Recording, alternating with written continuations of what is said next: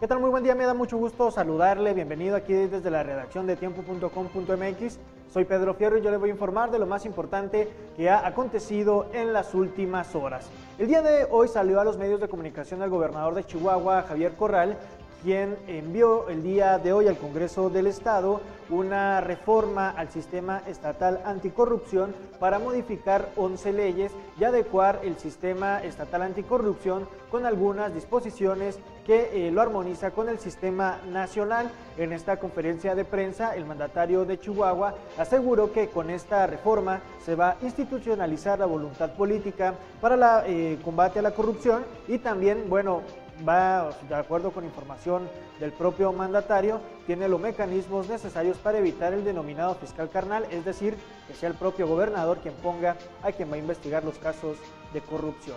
Los maestros siguen dando la noticia a una semana del bloqueo en diferentes partes del estado de Chihuahua y en solidaridad con los hermanos del municipio de Madera, quienes se encuentran con dificultades a consecuencia de este mega incendio que se ha registrado en los últimos días. Eh, realizaron una colecta de víveres, así como de agua embotellada para enviarlos al municipio de Madera y que bueno, pues también la autoridad municipal de aquella región los mande a distintas comunidades. Desde el jueves pasado se intensificó un fuerte incendio en el largo maderal que ya consumió aproximadamente 13 eh, mil hectáreas y bueno pues se requiere de alimentos y sobre todo de agua para los habitantes de esta comunidad.